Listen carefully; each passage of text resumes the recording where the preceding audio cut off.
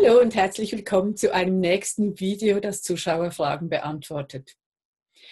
Heute möchte ich, möchte ich es ein bisschen pauschalisieren und nicht die einzelnen Antworten vorlesen, weil ich etliche Anfragen bekomme, was denn zu tun ist oder was man tun, macht, tun kann, wenn man angegriffen wird, wenn man in Schwierigkeiten kommt und zum Beispiel bei sich bleiben sollte oder wollte und das nicht so gelingt, weil die Umgebung etwas tut, was für einen schwierig ist, ähm, wie man sich klar ausdrücken kann oder was man tun kann, wenn jemand zum Beispiel sagt, also diese Videos schauen ehrlich, geht es noch so viele Stunden am Tag diese Videos schauen?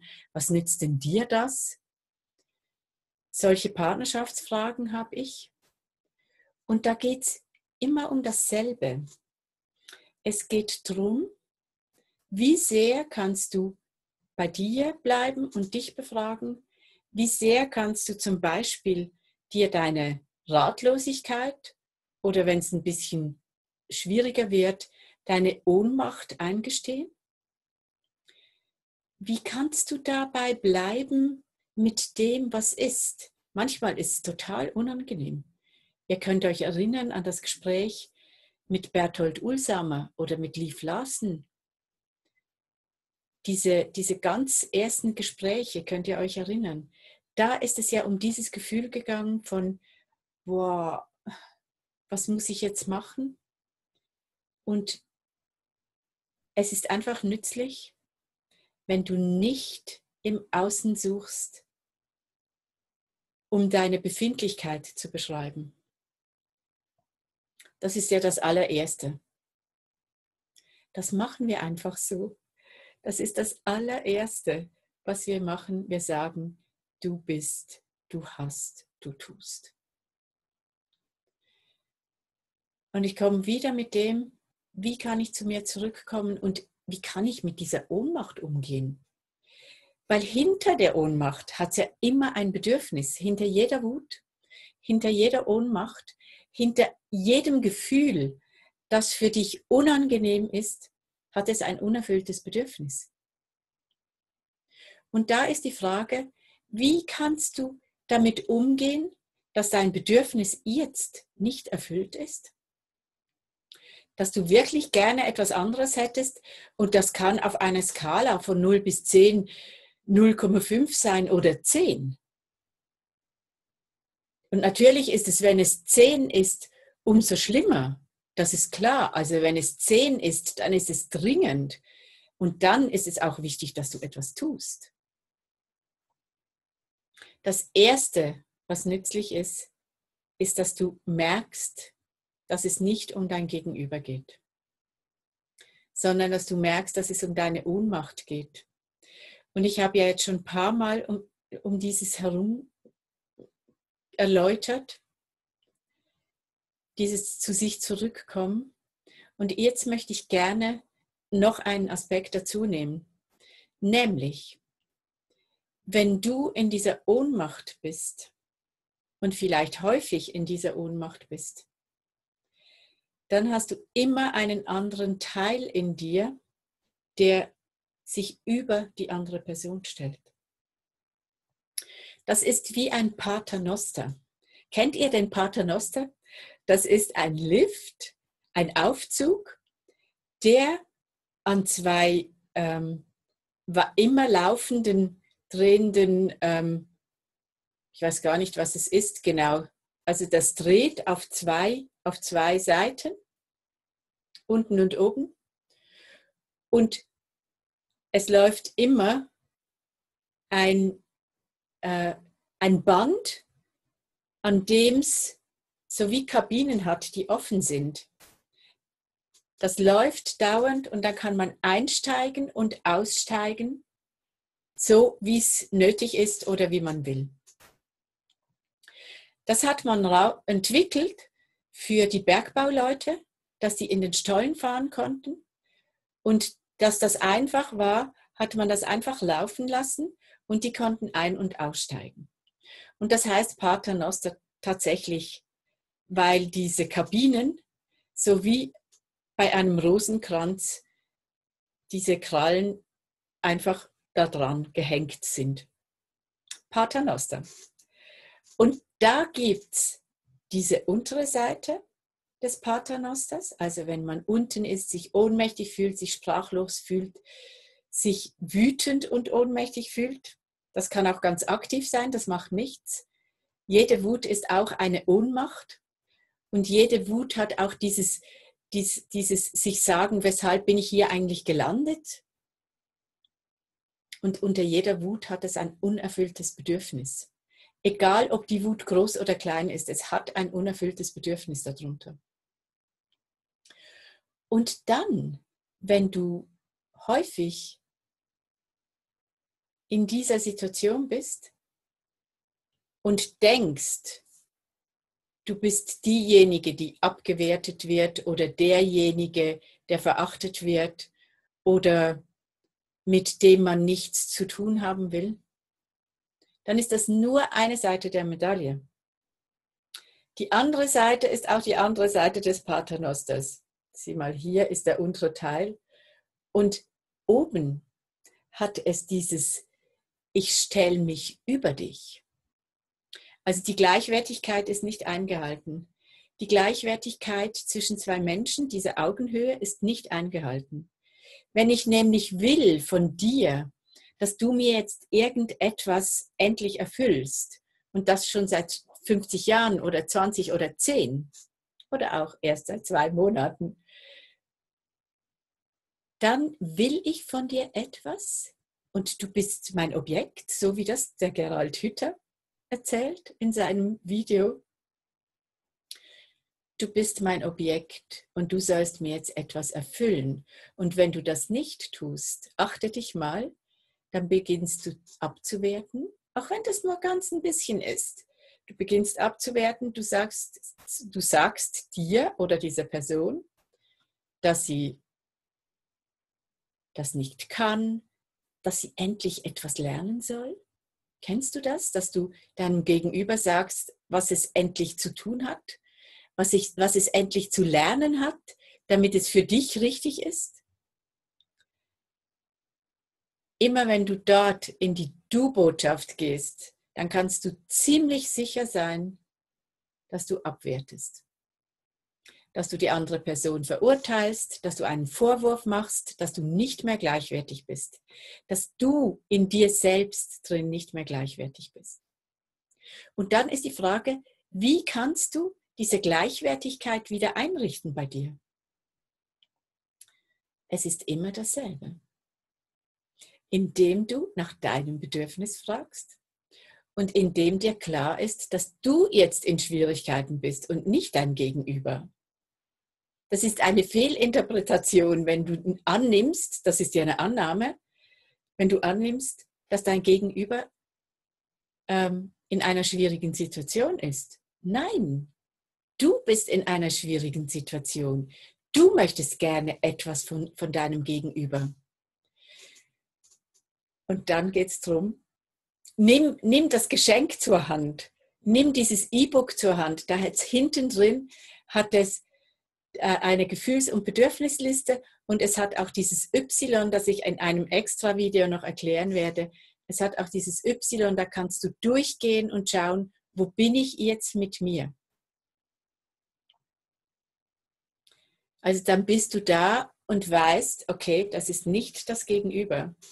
Das Gegenüber ist nicht für dein Glück verantwortlich und auch nicht dazu da, deine Bedürfnisse zu stillen, die du vielleicht schon ganz lange hast, sondern dein Gegenüber ist dazu da, mit dir in Verbindung zu sein. Und dann kann man weiterschauen.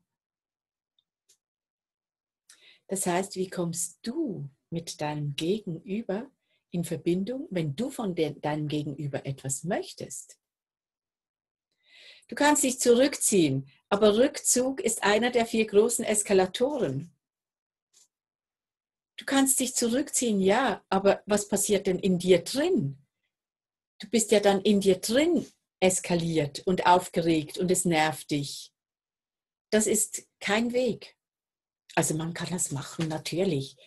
Man kann sagen, nein, jetzt nicht schon wieder. Und gleichzeitig ist es so, dass wenn du wirklich in Kontakt gehen willst, dass ganz häufig etwas anderes passiert. Wenn du nämlich von dir sprichst und davon sprichst, wie wichtig es dir wäre, zum Beispiel, wenn dein Gegenüber jetzt findet, dass du zu viel Zeit äh, mit einem solchen Mist hier verbringst wie einem Kommunikationskongress. Was nützt denn das? Wir haben es ja gut miteinander zum Beispiel. Dann ist es gut, wenn du nicht sagst, mir ist es wichtig, dass du das auch lernst. Hättest du Lust, wenn dir das jemand sagt, dann etwas zu lernen? Nein, hättest du nicht. Du würdest sagen, ja, komm, hör auf. Das hast du mir jetzt schon hundertmal gesagt, das will ich nicht mehr hören. Was aber nützlich ist, ist, wenn du ganz genau herausfindest bei dir, weshalb dir das wichtig wäre, was da dahinter steckt bei dir. Zum Beispiel, dass Gespräche anders geführt werden zum Beispiel, dass du gerne wissen möchtest, wo dein Gegenüber steht mit dir, mit eurer Beziehung, mit etwas, was ihr unternommen habt, mit etwas, was ihr gemeinsam tut. Sei genau. Frage weiter, bis du wirklich ganz klar bist, was dein Bedürfnis ist. Das ist eine, manchmal ein längerer Prozess bis du wirklich rausgefunden hast, was hier läuft. Gib dich nicht zu schnell zufrieden. Geh weiter mit dir. Und dann, dann kannst du das ausdrücken, wie es dir geht damit. Wertfreie Beobachtung. Ich höre, du findest das blöd, wenn ich diese Videos schaue. Mein Gefühl ist, zweiter Schritt, gewaltfreie Kommunikation, mein Gefühl ist, ähm, ich bin irritiert, ich bin traurig, So zum Beispiel. Ich bin genervt. Ich bin frustriert. Nimm die Gefühlsliste. Mein Bedürfnis ist, und dann kommt dein Bedürfnis. Bleib kurz und sprich von Herzen. Sag's einmal und dann fragst du, wie kommt das bei dir an, die Bitte? Wie kommt das bei dir an? Wie geht's dir damit? Wie ist das für dich? Und dann ist es gut, wenn du ausatmest und wartest, bis die Antwort kommt. Gib eine Pause. Vielleicht muss, dir, muss sich das Gegenüber überlegen, was es jetzt findet oder wie das hier läuft im Innern deines Gegenübers. Vielleicht weiß dein Gegenüber gerade nicht, was es sagen soll. Und wenn es sagt, ich weiß nicht, was ich sagen soll, dann bitte geh nicht in deine alten Muster und sag, ja, das war ja schon immer so. Da gehen wir nicht hin. Dann kannst du sagen, aha, okay, aha. Ja, ich nehme das tatsächlich zur Kenntnis und ich bin auch noch interessiert. Aha. Und dann kannst du sagen, ich weiß jetzt gar nicht, was ich sagen soll. Ich bin äh, ein bisschen ratlos. Bist du bereit, dir zu überlegen, wie das ist für dich, wenn ich gerne hätte, dass du da mithörst oder dass das für dich nicht so ähm, komisch ist, dass ich das hier mache? Wärst du bereit, dir das zu überlegen? Bitte? Oder? Und wenn die Person sagt, nein, dann bleibst du dran. Oder normalerweise hören wir da auf.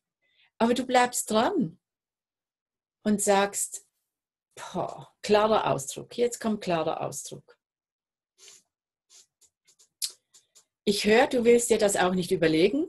Wertfreie Beobachtung. Gefühl ich bin total frustriert und ich stehe an. Ich stehe an jetzt. ich hätte hier gerne Bedürfnis, ich hätte hier gerne ein Gespräch und ich kann nicht sehen, dass du ein Bedürfnis hast, mit mir hier ins Gespräch zu kommen. Gefühl, das ist total schwierig für mich. Bedürfnis, weil ich hätte gern etwas anderes zwischen uns. Das bringt mich in Schwierigkeiten, wieder Gefühl, das bringt mich in Schwierigkeiten, wenn wir da keine Verbindung mehr haben. Kannst du mir sagen, ob du bereit bist, das zur Kenntnis zu nehmen, dass das für mich schwierig ist? Oder wir machen kleine Schrittchen, siehst du es? Wir machen kleine Schrittchen. In der Regel kommt dein Gegenüber da schon ein bisschen mehr in seine Schwierigkeiten und kann sich nicht mehr einfach zurückziehen. Grummel, Grummel. Ja, jetzt. Beschwichtigung. Ja, jetzt. Mach's mal nicht so kompliziert. Ein nächster versucht, sich da rauszuziehen. Und dann kannst du sagen, ich kann das nicht akzeptieren. Wenn du sagst, mach's nicht so kompliziert, wenn ich ein Bedürfnis äußere, dann wird es für mich ganz schwierig, Gefühl. Und ich kann das nicht akzeptieren. Und ich hätte gern, dass wir hier drüber mal eine Zeit nehmen, ein Zeitfenster nehmen und hier drüber sprechen. Bist du hier dazu bereit? Bedürfnis bitte. Und wenn das Gegenüber dann sagt Nein, was ganz selten vorkommt, wenn dein Gegenüber dann sagt Nein, dann musst du dir etwas überlegen. Dann musst du dich nämlich fragen, weshalb bin ich in dieser Beziehung? Was ist mein Gewinn? Es hat immer einen Gewinn. Was ist mein Gewinn, dass ich immer noch hier bin? Was sind meine Idealbilder, die ich nicht loslassen will? Was ist es, dass ich nicht wirklich hinschauen will, was hier ist? Und dann geht es wieder um dich, natürlich. Mal so viel. Und natürlich wünsche ich dir Mut. Es braucht Mut hier. Das macht man nicht so einfach, wenn das Muster ein anderes ist. Lies die Dokumentation. Schau, wenn du Fragen hast zur Dokumentation, stell sie. Ich beantworte die gerne. Und schau, wie du da einen nächsten Schritt für dich machen kannst. Für dich, nicht dass der, der andere sich ändert, sondern wenn du einen Schritt für dich tust, dann muss in der Dynamik zwischen euch automatisch etwas anderes laufen. Sei das, dass sich dein Gegenüber bewegt, sei das, dass du dich bewegst. Und da bist du nicht abhängig von deinem Gegenüber. Da bist du auf dich gestellt und da hast du die Wahl. Du hast immer die Wahl. Sogar in ganz schwierigen Momenten, du hast die Wahl. Das, die Wahl haben ist ein innerer Prozess. Ich wünsche dir Mut, Experimentierfreudigkeit und vor allem viel Vergnügen. Schau es als Experiment an, auch wenn es schwierig ist. Schau es als Ausprobieren an. Es passiert nicht der Supergau, sondern es passiert der nächste Schritt. Viel Vergnügen! Tschüss, bis zum nächsten Mal.